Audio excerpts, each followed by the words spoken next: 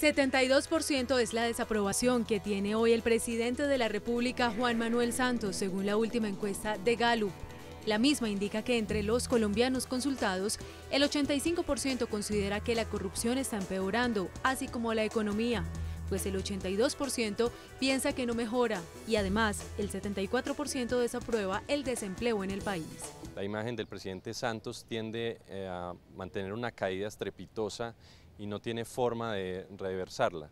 Esto ha indicado que el gobierno ha generado un, sentimiento y una sensación de inseguridad y cada, cada vez más de imprevisibilidad frente a las políticas de gobierno. El mandatario colombiano no había tenido un respaldo tan bajo y está a punto de alcanzar al expresidente Andrés Pastrana, que terminó su mandato con una favorabilidad del 20%.